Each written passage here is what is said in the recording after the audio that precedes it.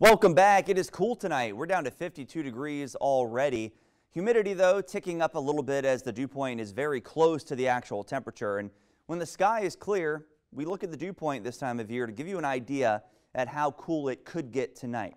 So we're likely going to drop to 50, but I'm also expecting dew points to drop even more tonight. So that means the temperature will drop even more and I'm expecting us to drop into the 40s as we head through the overnight hours. You can't see much out there right now, just the dark Georgetown circle on our Shore Auto Sales Skycam.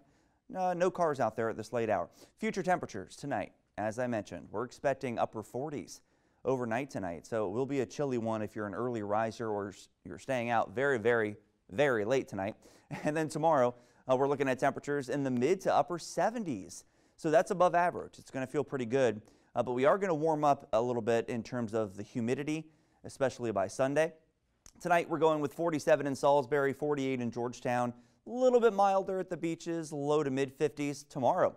Look at these temperatures. I hope you can get out and enjoy it. 78 in Salisbury, Wallop 75, Ocean City 73, Dover 76. It warms up even more on Sunday with a little bit of extra cloud cover. Low 80s, 83 in Salisbury, Melfa 82, Cambridge is 81. Georgetown could get to 84 degrees, so approaching the mid 80s, but the humidity will be a little bit higher on Sunday, which means it's going to feel a little bit warmer.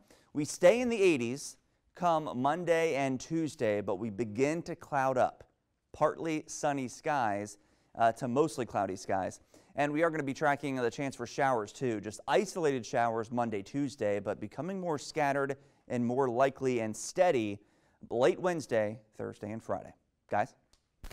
Daniel, thank you so much. Before we go, we've got to shout out some of our potential players of the week. Brandon, we had some monster performances in these games. First of all, Casey Heath of Kent Island absolutely stole the show uh, tonight. Number 44 was all over the field, and he got into the end zone. How about that? Also, Wayne Knight also had a also Wayne Knight also uh, had a touch, three touchdowns yes. in the game. Who yeah, and uh, and Owen Doyle as well for North Caroline. He was absolutely stellar out there. A couple of touchdowns.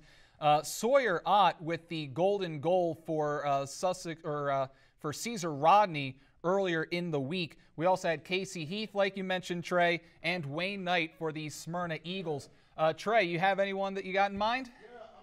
I think it's going to be Casey Heath, right? Like I said, he just absolutely stole the show in this game. Owen Doyle is a fantastic player as well. Uh, so we got some dogs as far as football goes. Sawyer Ott, too. Uh, he's pretty amazing. Um, so I think uh, that, that I am definitely uh, going with Casey Heath. What we saw tonight at WiHi was pretty amazing. But that's going to do it for tonight. As always, thank you so much for tuning in. That's right. And be sure to keep up with us all weekend long and have a great night. See you.